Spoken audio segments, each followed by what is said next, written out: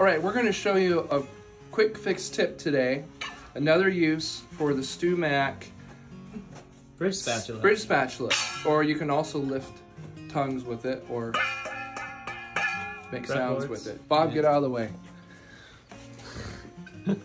so when it's someone's birthday in the shop, simply slide this underneath. Just like that. It's a scooped cake. Oh! Oh, And there you have it. Quick fix tips. that's great. Thanks, James. For more quick fix tips, subscribe to our YouTube, follow us on Instagram at James Hood Guitar, and it's also the same on Facebook. Have a great day and leave your comments on what quick fix tips you'd like to see below. Take care.